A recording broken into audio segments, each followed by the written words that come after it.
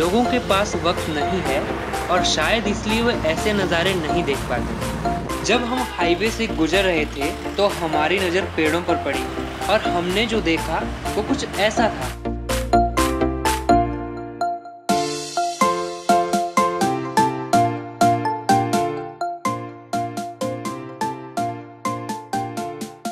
Hi guys जैसे कि आप देख सकते हैं, आज मैं जसूर में हूँ, जो नूरपुर के अंदर पर और यहाँ पे जो ऐसा नज़ारा है जो आप लोग जू में जाकर भी नहीं देख सकते, ये जो नेशनल हाईवे है पठानकोट मंडी नेशनल हाईवे उसके रास्ते में पड़ता है। और यहाँ पे जो एक अद्भुत नज़ारा है, जो आप लोगों ने कभी देखा नहीं होगा ज़िंदगी में, ना वो कोई जू, पार्क वगैरह कहीं भी नहीं मिलता है।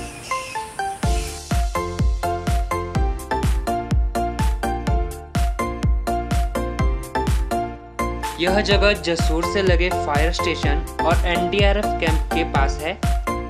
यहाँ के तमाम पेड़ों पर चमगादड़ों का बसेरा है। दिन में ऐसे दिखते हैं जैसे मानो पेड़ों पर फल लगे हों। यह बेहद ही खूबसूरत जगह है, जहाँ आप अनेकों प्रकार के पक्षियों को भी देख सकते हैं।